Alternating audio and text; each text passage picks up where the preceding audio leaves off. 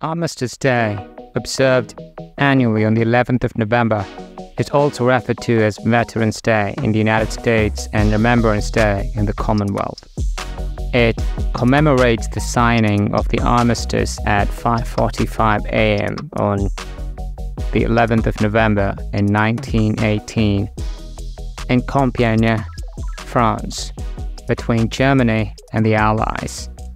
The fighting stopped on the Western Front of World War I at 11 o'clock in the morning, which was the 11th hour of the 11th day of the 11th month of 1918. France has designated this date as a national holiday, and many other allies have done the same. However, many Western countries and affiliated nations have since altered the name of the event from Armistice Day to something else such as Remembrance Day in Commonwealth of Nations countries and Veterans Day in the US. The inaugural Armistice Day commemoration was held at Buckingham Palace, commencing with King George V hosting a banquet in honor of the President of the French Republic during the evening hours of 10th November 1919. This is the Sundeep August Show. The initial authorized Armistice Day gatherings took place on the premises of Buckingham Palace on the 11th of November 1919 in the early hours of the day. These gatherings commenced with a two minute silence, observed as a gesture of reverence for the fallen and those displaced during the war. One important custom that has fallen on Armistice Day and Remembrance Sunday at 11 a.m., which corresponds with the moment the First World War ended in 1918, is the two minute silence. Cape Town, South Africa, is where the Remembrance Day silence tradition first emerged.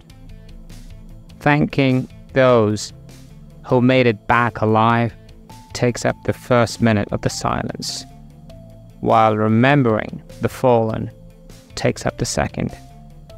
Sir Harry Hands, Mayor of Cape Town, started this tradition on the 14th of May 1918 after hearing about the gassing death of his son, Reginald Hands.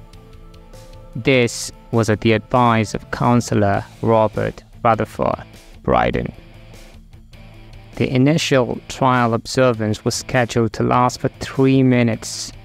Subsequently, the mayor deemed it excessively lengthy and issued a notice in the Cape Argus requesting a reduction from three to two minutes. King George V asked everyone in the British Empire to stop what they were doing for two minutes on the hour of the armistice, which stamped the end of the four years of global carnage and marked the victory of right and freedom. This year, we're asking the nation to pause, breathe, and reflect on the service and sacrifices the armed forces make on our behalf. The Royal British Legion states. Fundamentally, the two minute silence serves as a moment of gratitude for those who survived and a potent symbol of remembrance and reverence for those who served and sacrificed themselves in times of war. Armistice Day is observed by several countries around the world France, Belgium, United Kingdom, Canada, Australia, New Zealand, Serbia, Romania, Bulgaria. Armistice Day imparts valuable lessons to us recognizing that individuals who have served and given their lives for their country have made sacrifices to uphold our freedom and peace, it is important to recognize and pay tribute to them. The importance of cooperating as a world community to avert disputes and advance international understanding.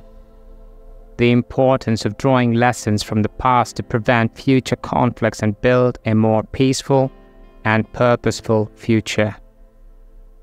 The significance of setting aside time from our hectic schedules to contemplate the selfless acts performed by others and to convey our appreciation for their commitment and service. Armistice Day is a time to remember that wars affect more than just the people who fought in them. They also affect their families and communities, which makes it even more important to heal and make peace. Thank you. This is the Sundeep August Show.